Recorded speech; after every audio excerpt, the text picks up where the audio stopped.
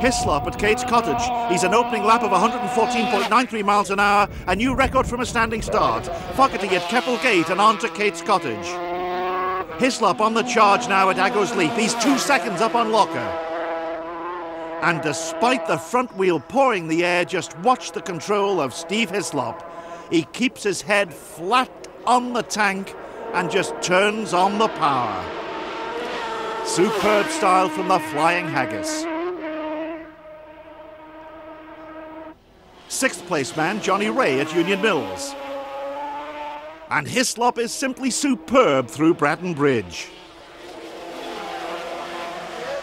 Ian Lougher is determined to give Ray Cowles his first TT win, turning it on at Union Mills. Hislop now leads on the roads. He's overtaken Johnny Rae. Fogarty at Cronk-y-Voddy. He's still fifth, but averaging over 113 miles an hour. Hislop at Quarry Bends. This is where his junior race ended last year. Lougher at Barregarrow, now just one second down on the leader. Rae at Sulby Bridge, he's sixth, three seconds down on Fogarty. The crowds are enthralled at the bottom of Barregarrow, where the riders almost rub their shoulders on the wall of the cottage on their left. Flying Fogarty at Ballaugh Bridge. Number 11, Ian Newton, is in fourth place, ahead of Cole on the roads. Number 7, Dave Leach, perfect at Ballaugh, but he's 17th. Hislop on bike now, and just look at the buffeting both rider and machine take on the bumpiest sections of the course. Hislop at Union Mills, two seconds up on Lougher. Number 10, Steve Haslett, was third last year, but he'll be eighth this time. Fogarty is now up to fourth place. Lougher at Braddan Bridge. He knows nothing short of a lap record will give him victory now. Barregarrow, and Hislop is now second. Lougher leads the race by a whisker. But Hislop is still really going for it. Number 11, Ian Newton. Sadly, he retires from the race before the finish. Hislop on the mountain. He's got to pull out every stop now. He's experienced. Can he do it?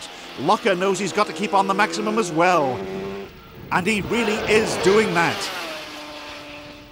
The 33rd and Kate's Cottage. Can Hislop pull back the vital seconds on the final descent of the mountain?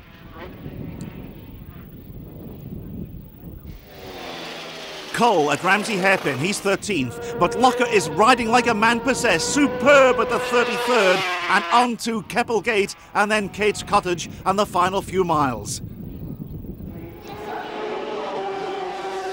Hislop crosses the line, he's lapped at 117.37 miles per hour. Irishman Phillip McCallen at the 33rd, he's now up to 6th place. The seconds tick away. Ian Lougher crosses the line.